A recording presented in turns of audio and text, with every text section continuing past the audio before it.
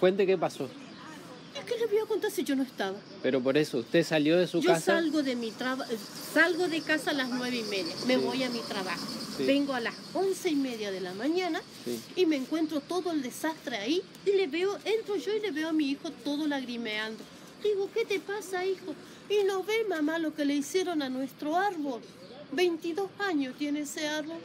Encima lo que más me duele es el ceibo, la flor nacional.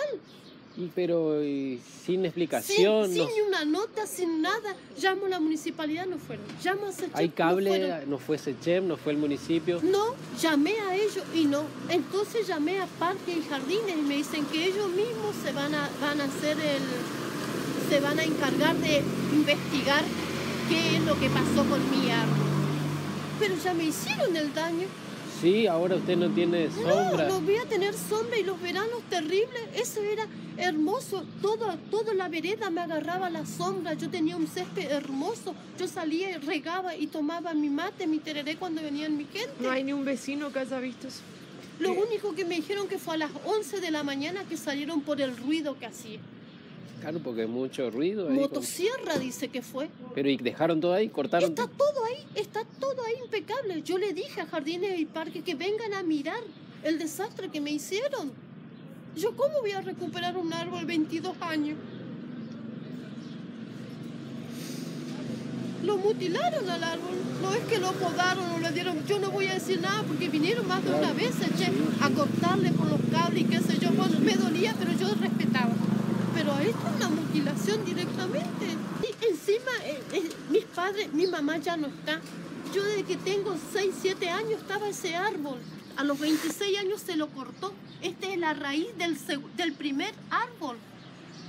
Si que por eso yo- Me dice que usted que no hay ningún pedido de extracción ni No de nada. No, en la municipalidad no está, en parques y jardines, en parque, Jardines. paseo y jardines tampoco.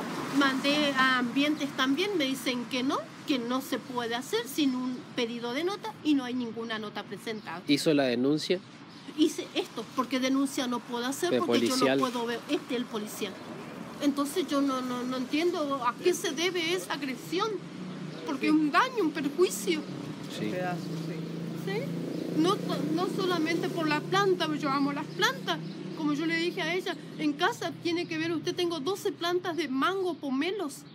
Todo, todo mi patio es todo lleno de plantas. Yo tenía todo un césped hermoso, hermoso Sí, ahí. sí, sí. Encima yo le había pedido a mi hermana la pala, hice todo el bordecito, todo, mira mi, mi- el césped que yo tenía por el árbol que me cubría.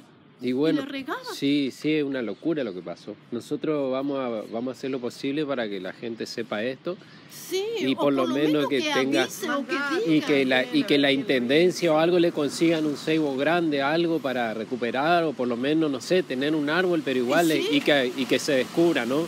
Sí, yo quiero saber quién fue. Porque si una persona puede ir y hacer eso, sí, entonces en su yo el día de casa mañana voy a encontrarme pueden todo. hacérselo a cualquiera sí, y esa gente tiene que ir presa. para mí un atropello. Yo creo que podríamos pedir eh, que a las, a las personas que, que el que haya visto algo se acerque a, a porque a declarar. no es tan fácil Alguien tirar tiene que tener más datos. Sí, ¿no? Necesitas Sí. un tiempo Sí, eh, bastante para, para que tirar un árbol así de ese tamaño sí. en pedacitos, ¿no? Cortarlo. yo digo, yo No, soy no contribuyente. porque más allá de las notas existe el Ah. censo de arbolado público en donde claro. ellos determinan si tu árbol está para sacarse no. Vos- Pero alguien tendría que ir a buscar esos troncos entonces. sí, Y claro, ¿me lo van a dejar ahí también? no,